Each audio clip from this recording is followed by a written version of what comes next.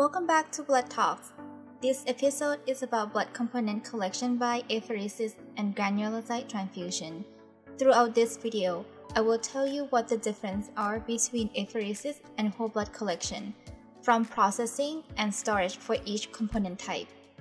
We will also talk about granulocyte collection and why someone would need granulocyte transfusion. This episode is a part of series Blood Donation Journey. If you have not watched the other videos, I will leave links to them in the description box down below. Without further ado, let us click that like button, share, subscribe, and let's dive into today's episode. What does apheresis mean? Apheresis comes from a Greek word apheros. I'm not sure if I said that correctly or not, but if you know how to say it correctly, please let me know in the comment down below. Apheros means to take from. When it comes to blood collection, apheresis means only collect the part that needed. There are actually two main techniques for apheresis, centrifugation and membrane-based apheresis. In the United States, centrifugation technique is the primary, whereas the membrane technique is the primary technique in Europe and Japan. Apheresis by centrifugation. Donor blood will not be drawn directly into a collection bag, but will be connected to an apheresis machine. Apheresis machine will take whole blood from a donor, centrifuge it down, only collect the desired component, and then return the remaining components to the donor. If the donor is donating platelet, platelet will be the only component that it is being collected. Red blood cells and plasma will be separated out and returned to the donor as much as possible. What is the process for apheresis? Is there different donor requirements?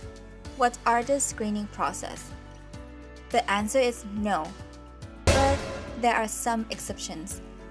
Components collection by apheresis follow the same rules, regulation, and guideline as the whole blood collection for the most part. Once you know the donor requirements for whole blood collection, learning about apheresis requirement is not much different. There are some specific requirements that are added on for a apheresis donor, but that should not be something that discourages anyone from learning about it or becoming an apheresis donor. Donor has to pass a strict donor screening process, same as whole blood collection. I am glad that there are not another whole set of rules and regulations. What do you think?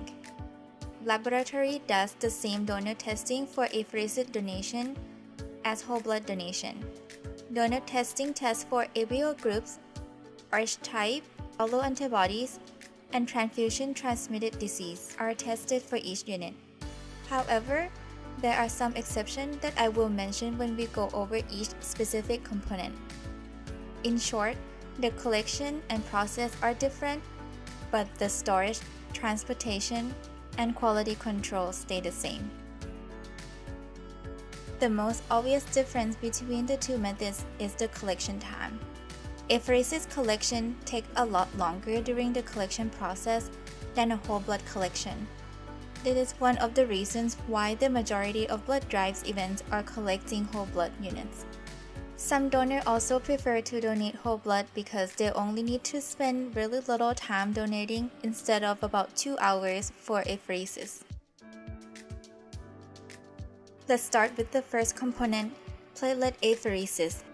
About 90% of platelet transfusion in the United States comes from apheresis platelet. Apheresis platelet is also a preferred type of product for patients with platelet refractory and patients with HLA antibody. CLS can perform platelet and HLA crossmatch or compatibility tests for this patient to enhance the effectiveness of the platelet transfusion. If you want to know about platelet refractory and HLA antibody, please let me know and I can cover them in a later video. But today we will be focusing on apheresis. The benefits of platelet apheresis are First, decreased chance of contamination since there is less product processing and handling involved. Second, Platelet apheresis also allow patients to have less exposure to donor's antigen. Each unit of platelet from apheresis is more potent than platelet derived from whole blood donation.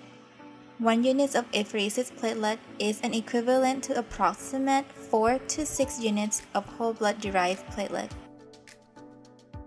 The platelet apheresis property.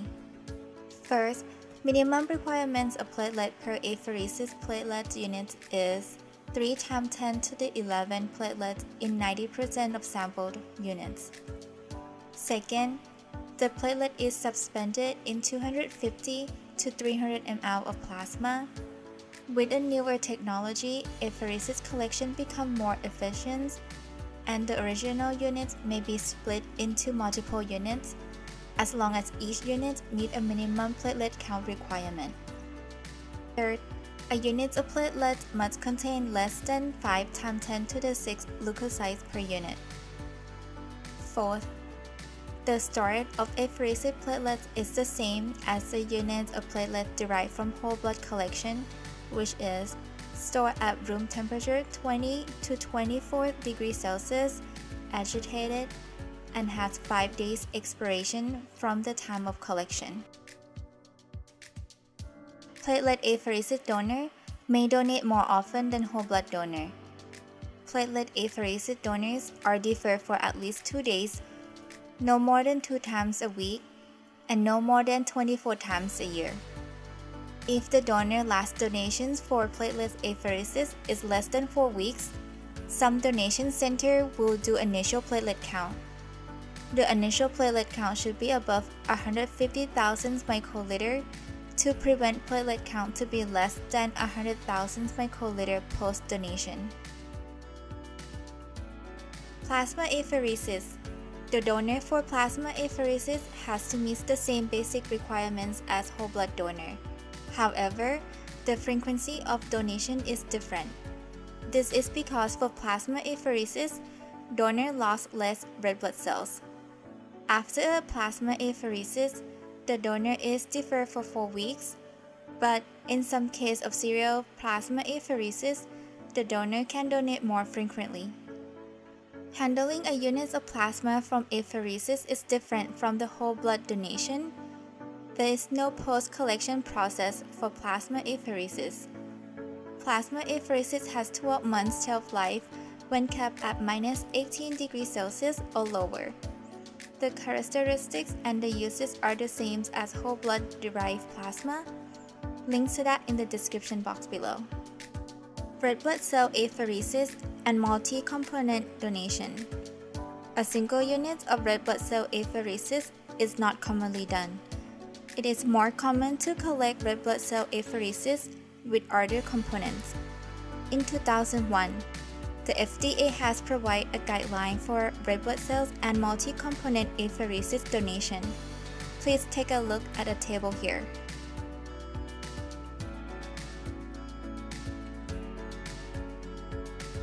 These type of donations have stricter donor requirements than regular whole blood donation. Donors still have to meet all the basic donor requirements. The additional requirements are First, a minimum hematocrit of 40%. Second, a male donor have to weigh at least 130 pounds with a minimum height requirement of 5 feet 1 inches. Third, a minimum weight for female donors is 150 pounds, and the height requirement is 5 feet 5 inches. This additional requirement is to ensure the donor's safety. The donor will be deferred for 8 weeks post-donation and 16 weeks for double red cell donation. I have more detail for each type of multi-component donations and deferral interval here so you can check it out.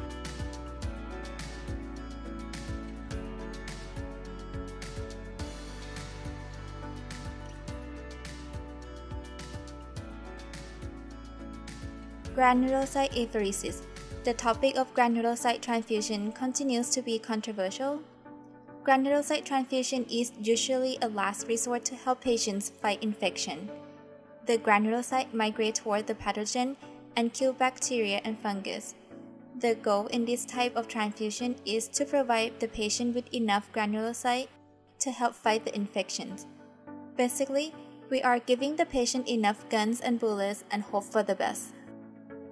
For granulocyte apheresis, the donor needs to be stimulated to produce more granulocytes, and those granulocytes needs to be migrated to bloodstream prior collection. An acceptable granulocyte collection is more than 1 times 10 to the 10 per unit.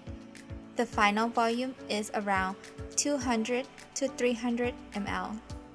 Granulocytes have a unique storage requirement, which is to be stored at room temperature 20 to 24 degrees Celsius, not agitated, and it is expired in 24 hours post collection.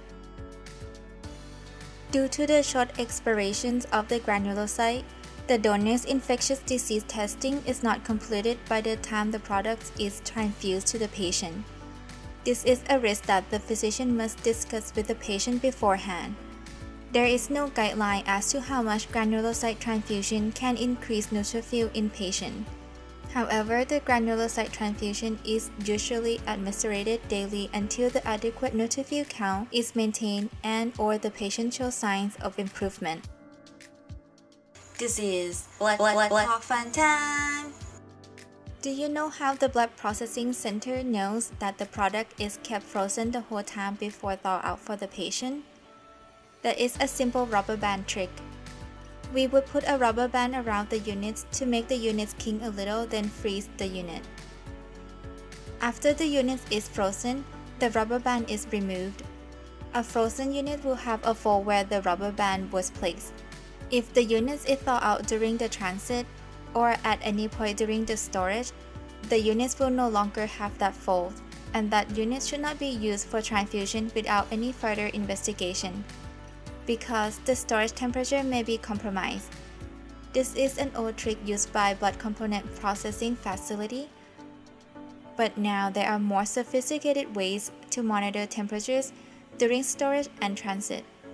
This rubber band trick is not commonly used anymore, but in my opinion, it is still a good visual clue.